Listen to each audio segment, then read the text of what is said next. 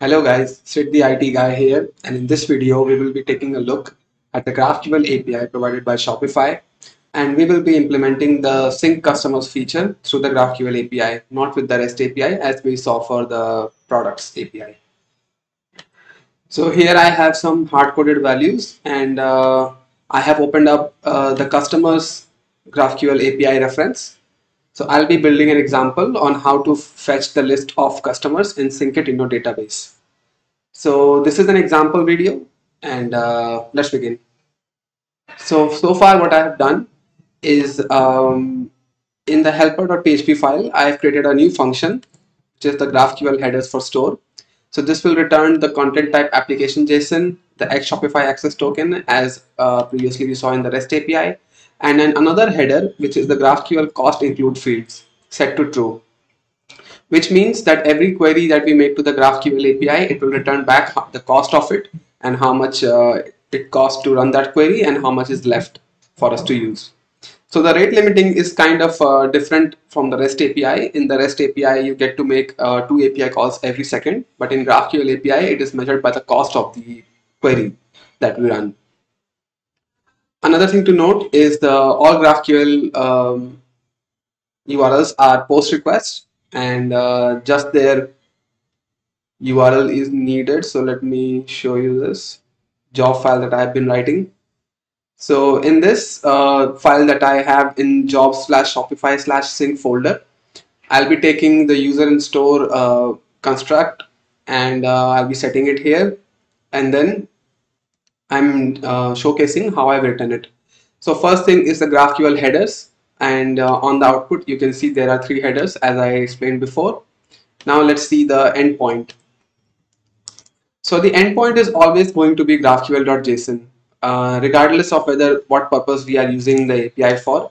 So if I do this then it says uh, Laravel project to myshopify.com admin API GraphQL.json and each and every API request to this endpoint will be of post. So here I have mentioned post and uh, this is the query variable that I'll be taking to make the actual API call which we'll be seeing uh, in this function right here. So let me put the try catch block around it. So if it fails, yeah. So this is the example of how we can uh, make the request.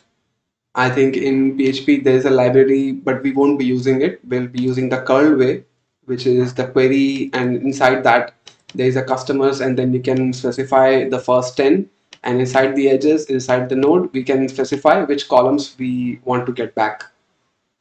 So let's write this down and let's see how it looks like. So we're back with some code that I have written here where I have only taken the first five customers.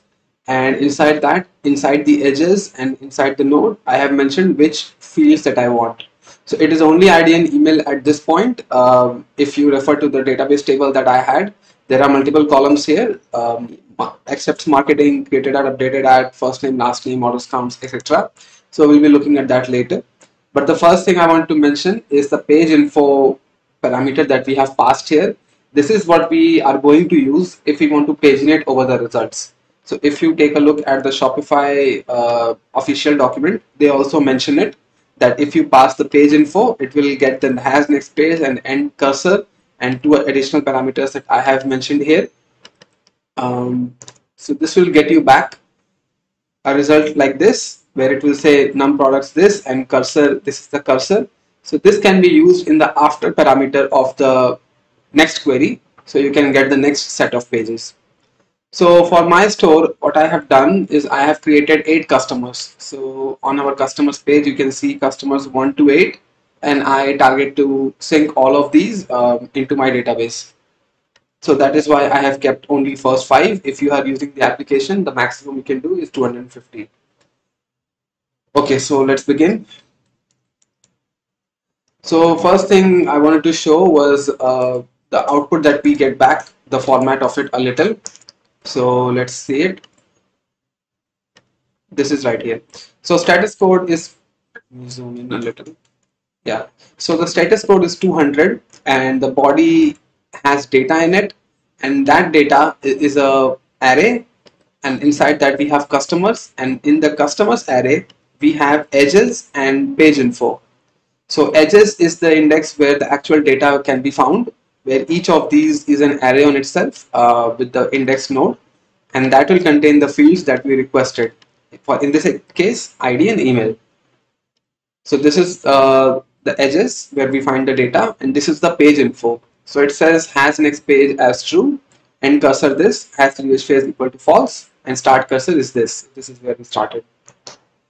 So this is the response pattern uh, that we have to work with and this is the extensions. I've also included that.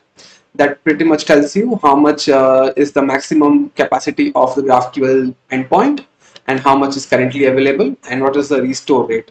The restore rate means uh, the seven points that it consumed, the difference between 1000 and 993, it will replenish the quota by 50 points each second so that is what the restore rate index is. And the other one is the headers, uh, which will return back all the response headers that we get from this API call.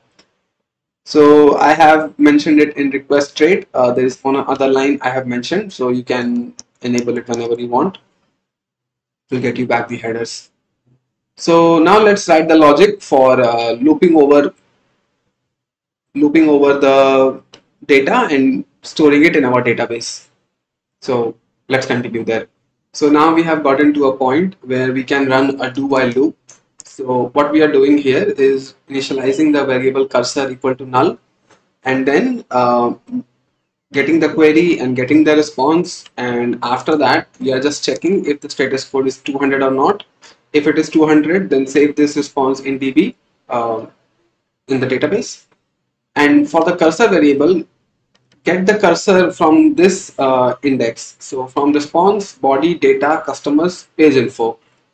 So what it does, so what this function does is simply receives a page info object and it just checks if, if it has the next page index which is equal to true or not. If it is, then page info end cursor, otherwise null.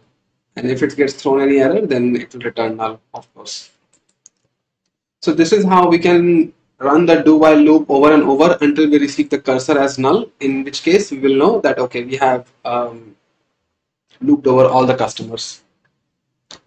So that is why I did uh, first five. I didn't do 10 because then otherwise in one shot I would have gotten all eight customers and I wouldn't be able to show the looping over of the customers. In the query object I introduced this filter object which just takes first five and then just checks if cursor is not equal to null then it appends it uh, with the after string like this. Otherwise it will not append anything and it will be like that. So that is why when, when the query is uh, called here in the third parameter I'm sending the cursor object. In first time it will be passed null and then it will get the cursor uh, from this line and then it will pass those cursor values. So this is how it will go and let me show you the response. The status code is 200 the body uh, this edges yeah. So body data customers page info. So page info has this has next page and cursor and this. So it is true so it will we can loop over one more time. So let me collapse this in edges. Th these are the fields that I got back uh, from the GraphQL that I mentioned here so ID, email created or updated at first and last name, number of orders, phone, and then the default address. In the default address is also an object where I had to send the specific fields that I was looking for. Um, if you take a look at the database, then I had to leave out uh, certain fields. Um, one of them being the currency.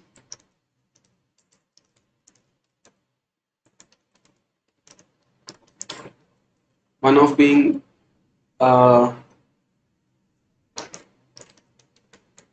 So if you take a look at the customers table that I already have, then the accept marketing and the currency field uh, got left out here because if we learn more into GraphQL, we will find out that there are more uh, nested objects uh, present in those. So I think we can update that later by using the REST API. There is no big deal with that. Okay. So this is what we are going to work with and this is the function that will save this response in the DB. So let me create a payload here. So store ID, okay, first thing I want to do is uh, loop over the response. So I sent over the edges uh, index here. So this is the index that I will get in this function. So let me loop over it. Let me check one more time. So each of the edges is an array on itself containing just one node. Yeah. So I'll do for each response as edges node equals edge zero node. So let's see what we got here.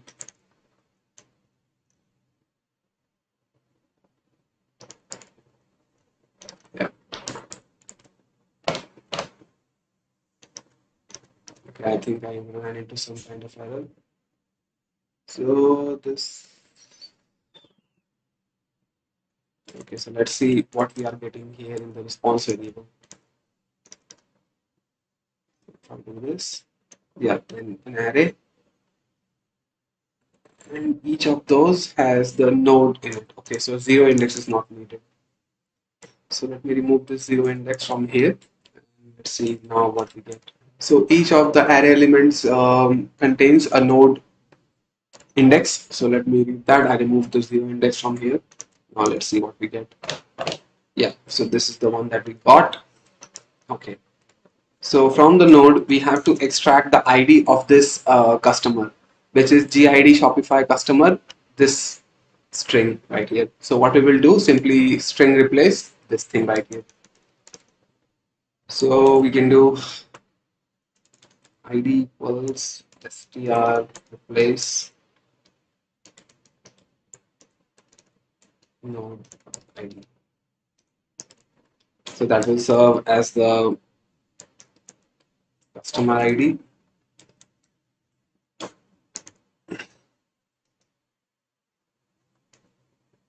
So let me check the, so that will be the ID, then the store ID will become store arrow table ID and the email.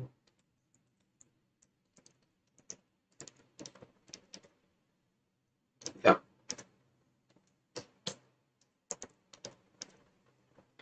Created at updated at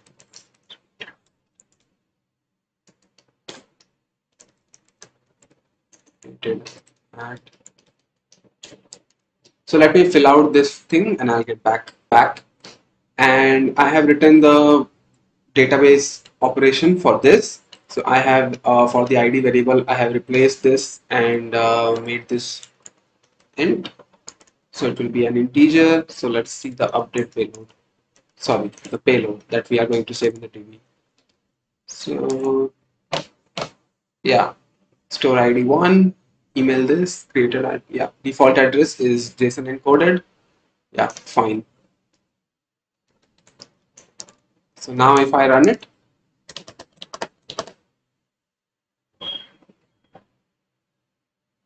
let me check customers table. I guess I shouldn't have returned here. Okay, so for each, yeah, should have returned it here. In the first loop itself, it got returned. So if I click sync, yeah sync successful. And yeah so we have got five. Okay so why didn't we get? And now we got okay so that was a minor mistake. I had to do the after inside double quotes okay no problem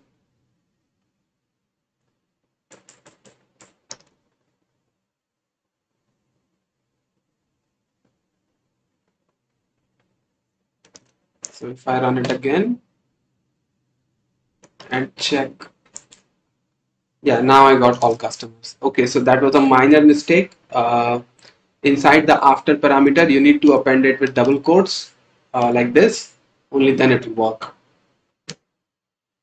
Okay, so let me now show the data on the front end. That should be pretty quick. And there we have it on our app. So if I refresh here, then these are the customers on my store that I have synced into my database. The code is quite, quite simple. If you go into Shopify controller, then you will get here. So the store is users Shopify store, and then from that store, get the customers, select these columns and call the get method. And in the index.blade of uh, customers, we just loop over it and show the details. And in the last, we just show the state function. So yeah, this was an example of uh, GraphQL APIs, how to fetch data. So if I keep building on this product, I'll also demonstrate how to make an API request to create a customer or create an order through the GraphQL API. This is it for this uh, video. I highly recommend uh, you go through the Shopify GraphQL API reference and uh, experiment with the API. You might run into problems, try to solve it. If not, if nothing works, then drop a comment in the comment section. I'll be happy to help you out and subscribe while you are at it. So it helps me be motivated to create these kind of videos. Okay. That's about it. See you.